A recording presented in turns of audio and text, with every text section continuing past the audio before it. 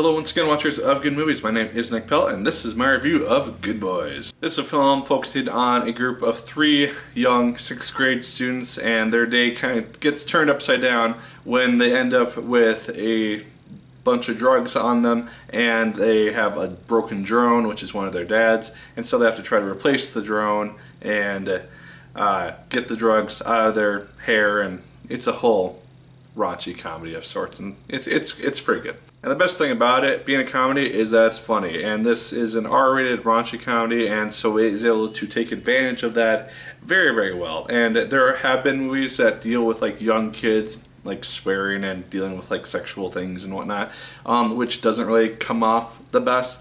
But this film does it pretty well. Um, I found most of the scenes pretty entertaining. Most of the stuff was pretty funny.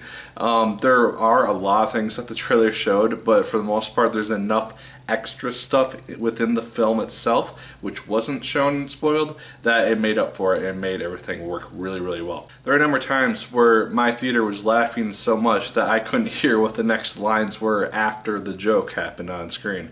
Um, and so that's how you can kind of tell that uh, it's it's the jokes are at least being received pretty well. But the main thing, aside from the comedy, which makes the film work as well as it does, is the chemistry between the three main actors. We have Jacob Tremblay, uh, Keith Williams, and uh, Brady Noon, and the chemistry that these three kids have between each other just works extremely well. You can really buy into the idea that they are friends and that they have been friends for a very long time, as is stated within the film itself, um, and they just again, they work really well together. They bounce off each other well. Um, and I enjoyed seeing them on screen together. And part of what makes the film work is that they do have character development and growth by the end of the film. Because this film is, aside from all the comedy and shenanigans, it is a film ultimately about growing up. Um, and while you would not think that there's a lot that happens within sixth grade, within like the first week of sixth grade, in regards to this. Uh, it does ultimately kind of focus on the idea that when you're young, when you're like in kindergarten through elementary school, your your best friends at the, at the time are kids who either you your parents are friends with each other, or you're just or you just happen to live uh, really close together.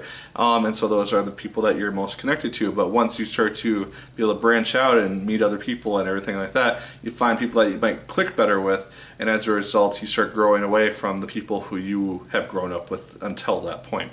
And so the film does decide to kind of focus on that a little bit more towards the end of the film.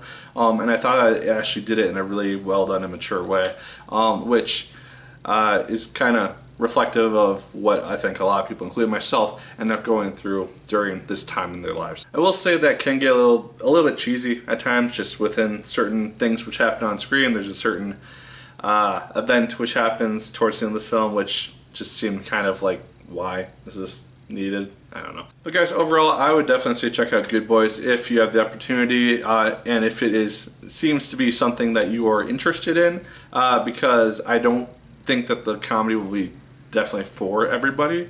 Um, but for me personally, I had a really good time with it, and the people in my theater did as well. So guys, check it out. If you have the opportunity, have you checked it out? Let me know in the comments down below. Uh, did you like it as much as I did? Did you hate it more than I did? Let me know. Let me know your favorite coming-of-age comedy in the comments down below as well. I'd love to hear your thoughts. Like, favorite, comment, and subscribe once again if you should choose. I appreciate it immensely.